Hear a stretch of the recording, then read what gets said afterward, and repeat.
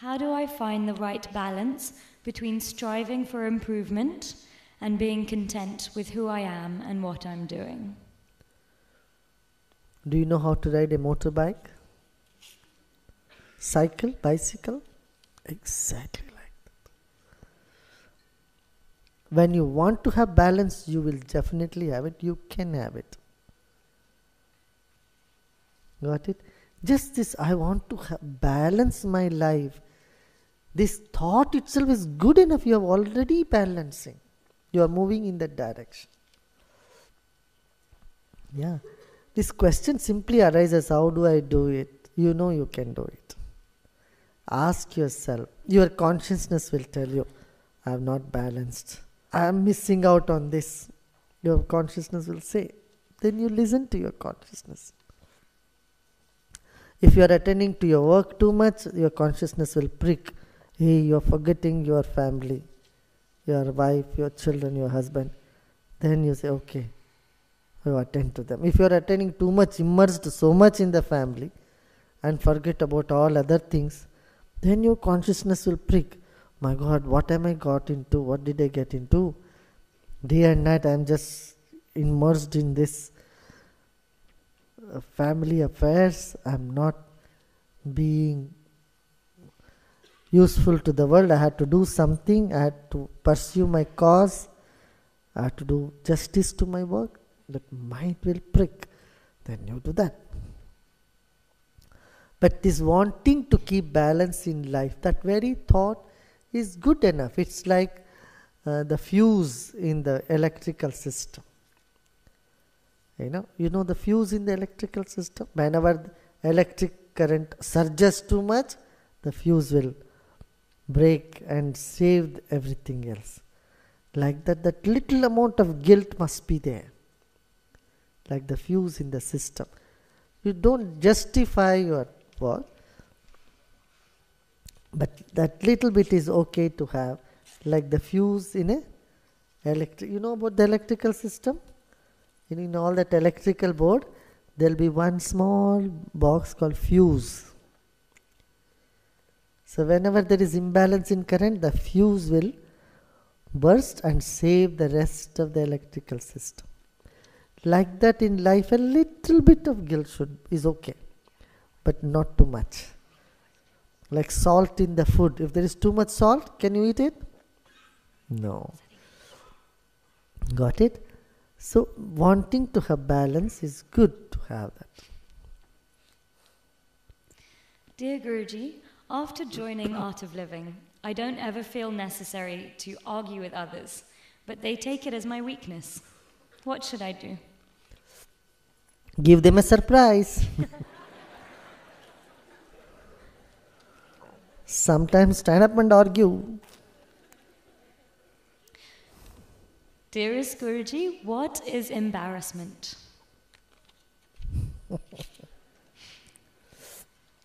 Do I have to tell you what is embarrassment? hmm.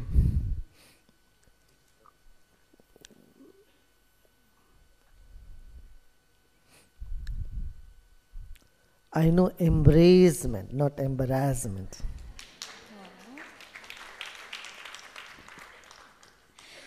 Could you please talk about how one creates his own? If you can em- embrace the embarrassment, nothing can shake you. It's one thing that people try to run away from is embarrassment. Yeah? Criticism. A mild form of embarrassment is a mild form of criticism. A mild form of feeling un- uncomfortable. So sometimes we need to get out of the comfort zone, feel that little uncomfortable. Less then, you know, abilities in us dawn. Dear Guruji, how can we define consciousness? And can you talk about the different levels of consciousness? Thank you. Consciousness is what is, what was, and what will be. All that is, is consciousness. What is not consciousness, you ask me? I would say nothing. Dearest Guruji, what is a good way to accept the death of a beloved? Time will take its own course. Don't try to accept or do anything. If that pinch is there, it is there, it will go away. Just notice as the time moves, time is the biggest healer. It just takes you further, further. And, you know,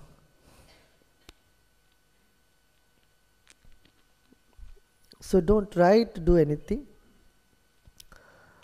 Time will take care of it. Yeah. Or wake up and see everybody is going to go there one day. They took an earlier flight, you are taking a later flight. That's all. So when some people who have gone already, tell them few years later I'll meet you there, see you. You can say bye for now. See you later in another place. Yeah. Are all relationships based on previous karma?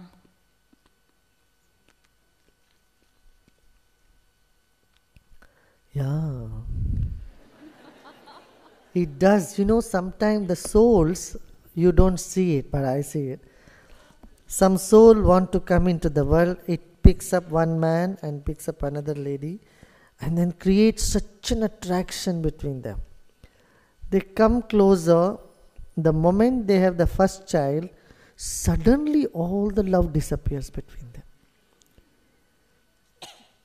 How many of you have seen such thing happening?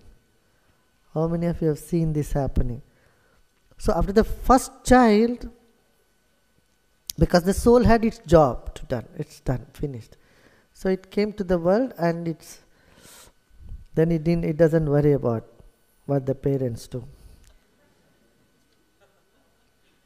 you know so suddenly after the first child people lose all the attraction isn't it you might have noticed. For many people not everybody not always. No no no. No no no. Don't think it's for everybody always. In some cases some cases it happens. Sometimes it happens after the third or fifth kid. Suddenly they cannot see each other. That much because their personality were artificially brought together by the spirit, by the soul who wanted to come in. So this uh, is happening. But not always, not every time. Yeah. About 30% you can see. And they definitely end up in divorce. These cases because they, they don't match at all, nothing matches in between them. And suddenly one realizes, oh, we thought we are soulmates for life. And what happened suddenly? All that you came out of that bubble, and suddenly you encounter, oh, that person is totally different, I am totally different, we can never match together. This, this thing comes up. Yeah. But you know, life is like that.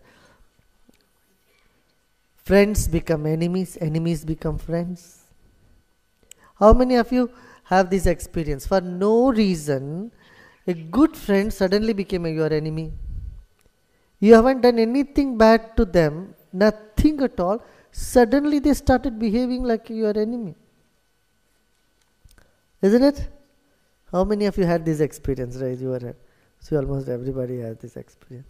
You wonder why they are behaving like this. I did only good to them.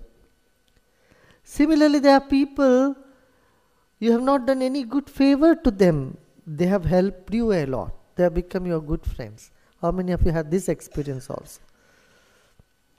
You haven't done anything good to them, but they have started doing good to you.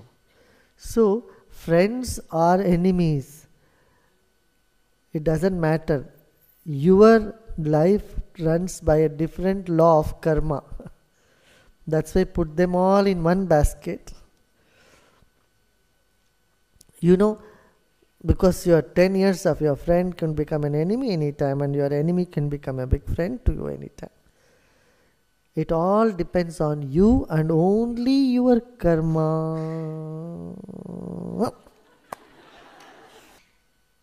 Dearest Guruji, what is the best way to make you happy?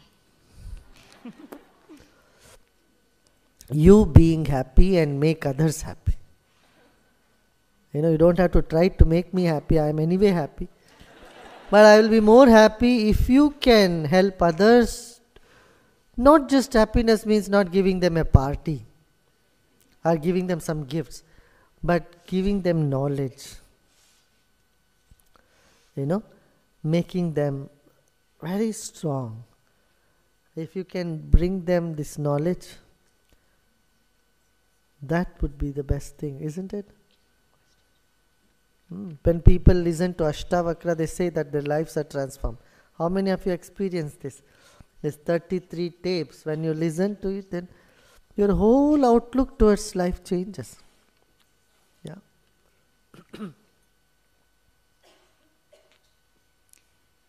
Dear Guruji, it would be wonderful to have our children grow up happily in this sometimes difficult world. What can we give them beside lots of love when they're still too young for meditation? No, just play with them. Don't try to be a teacher all the time and start teaching them. Learn from them. Respect them, learn from them. Just play with them. Don't get too serious with kids. Yeah?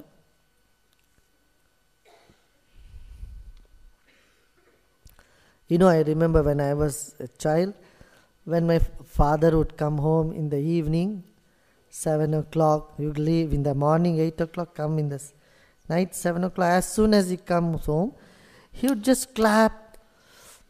My mother was very strict, she was always being very strict. My father would just clap and just make everybody happy, laugh.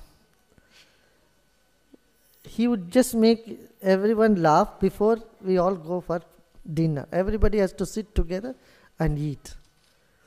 So before that, he would simply clap, uh, try to tickle you and clap and chase everybody around in the house. Uh, seven, eight people, everyone should laugh before we would sit for food. You know, the children should be always don't go on teaching them always. Just celebrate with them, play with them, sing with them. This is the best thing. Otherwise, you always take a stick and say, Don't do this, don't do that, don't do da da da da da da da da da da. That is no good. I feel you should play with them more. And then you can tell them stories sometime. We used to hear a lot of nice stories. Every day, one story. So it's, it's good to bring up children that way with values. Hmm? If you tell them nice, interesting stories, they will not just glue themselves to the television and sit there all the time. It's good that parents sit with children and tell them a story, you know, and give them a moral. That quality time of one hour, even if you spend, or half an hour you spend with your kids, is good enough. Don't stifle them sitting with them for four, five, six hours with your kids. The quality time, 45 minutes, one hour you spend with your kids, should be very in- interesting. They should look for that time to sit with you and listen to story. So that human touch is needed. Today, children from the morning they wake up, they sit like this non participatory witness in front of the screen. Children sit in front of the television, they go on serving the surfing the channels and then mother comes, hey come for food, come for breakfast, come for and then they just don't move. Sometimes mother has to bring up bring their breakfast in front of the television. This type of culture is no good. Not more than one hour of TV should be shown to children. You should limit that time. Otherwise, children have this attention deficiency syndrome. You know, the brain gets so bombarded with all these images, it fails to register anything else. We cannot attend to anything. Dear Guruji, I have no family. What can I do to feel less alone? Come on, I've given you such a big family. A world family, a true family, family which really cares for you. Yeah. Don't never think you have no family. I am your family. Okay? That's why I come for Christmas every year and New Year here. Why should I come otherwise?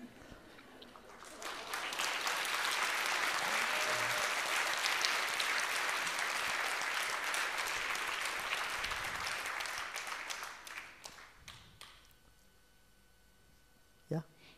Is creative expression necessary for everybody? Don't worry about everybody. you want to be creative? I think you better be. It's good.